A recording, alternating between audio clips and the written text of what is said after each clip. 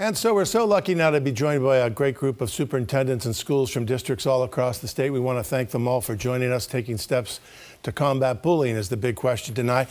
Tonight, and we have uh, Abbey Sloper, the assistant principal at Londonderry High School. Thank you for being with us. Let's introduce ourselves. Pam Martin from Spaulding High School. I'm deputy principal there. Stacy Buckley, I'm the superintendent in the Newfound Area School District. Lisa Witte, I'm the superintendent in the Monadnock Regional School District. Mike Berry, principal at White Mountains Regional High School. So we've got a great group from all over the state.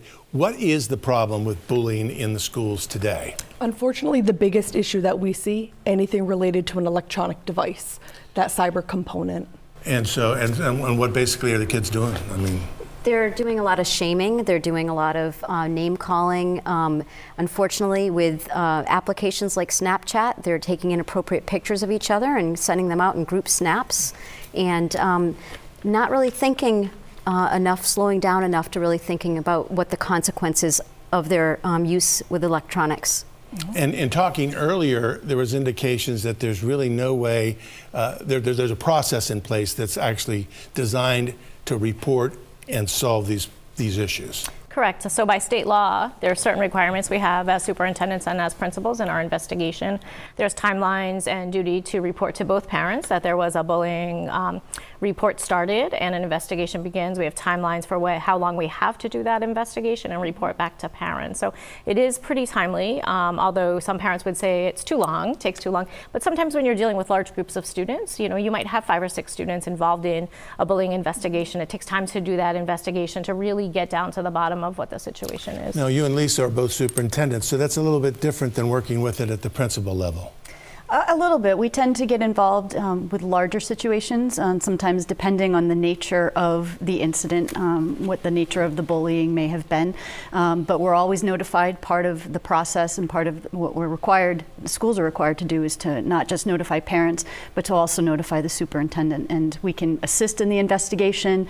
Uh, in some cases, we may be more involved in an investigation than others.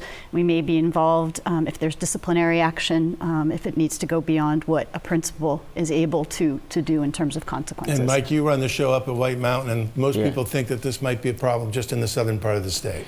N- No, I think it's a it's a problem in you know everywhere. You know, anywhere there's teenagers and young people, I think uh, the the casualness of the interactions between uh, you know people 14 to 18 years old that kind of walk through the high schools is is kind of shocking for people who have not gone to high school in the last 10, 15 years, and I think that leads to a lot of the inappropriate kind of activity and, and interactions via, you know, social media and electronic devices, and, and even even direct interaction. It's, it's just really casual, which leads to kind of some of the, the incidents that you, you, you find and you hear about. So let me ask you this parental responsibility on this issue and open it up to anybody. What are parents supposed to do? Anyone? Very easily monitor and engaging in conversation. Very simple. How was your day?